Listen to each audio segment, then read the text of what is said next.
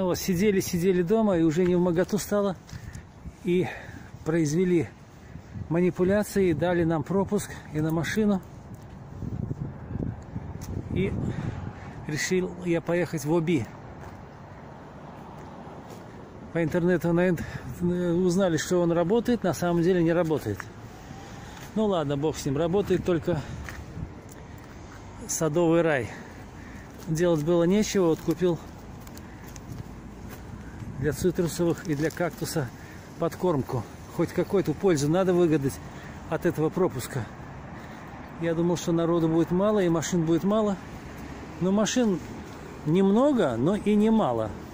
Все тут люди шмонаются, что-то шмонаются.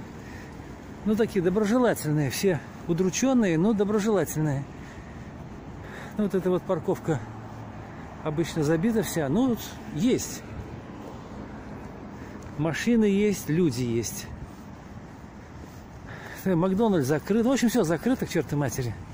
Что там, зачем тогда открыли эту тут дверь? А, тут дверь открыли для того, чтобы в ОБИ пройти. И тот, кто по интернету там более чем на 2000 или на 3000 заказывает, может приехать и взять здесь свой товар. Но делать нечего. Приходится домой ехать надо. Ну, такая удрученная обстановка такая. Не поесть, не попить.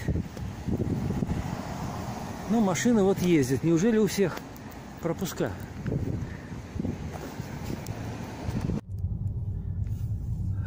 Ну вот, выезжаю уже с этой большой-большой парковки. Народу мало. Машин, ну, достаточное количество. Ну что, людям дома надоело уже сидеть, конечно.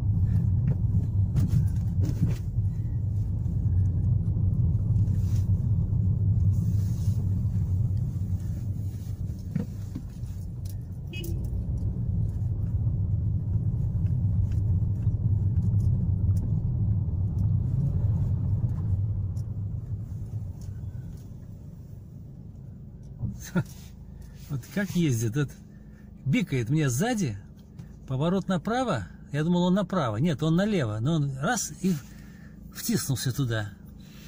Культуры нет, вождения езды нет нормальной. Вот так вот живем.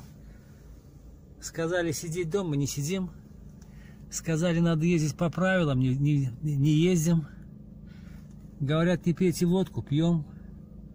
Не хулиганьте, хулиганим. Вот так вот и живем. Да, но тем не менее приятно ехать.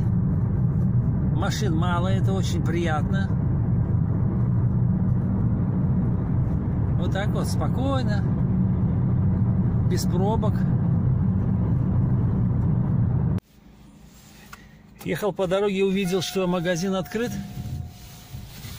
Выяснилось, что они только там сидят и в магазин не пускают. Но говорят, что с 12 числа в Москве вроде многие магазины хозяйственные откроются.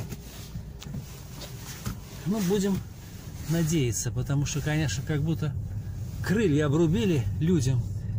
Привыкли уже ездить, что-то там, что-то делать. А теперь туда нельзя, сюда нельзя. Здесь закрыто, там прохода нет.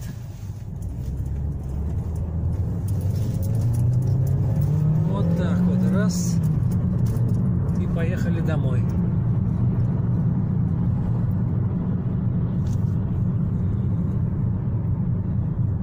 Поехали домой.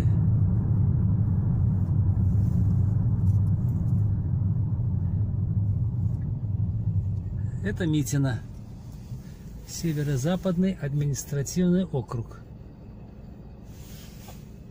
Ну вот, я приехал домой, купил себе чебурек который подогревал и перегрел. И пришло сообщение из Узбекистана от моих друзей. Вот можно представить, как я, мой ужин и ужин моих друзей. Они сидят в майках и едят не то, что я ем.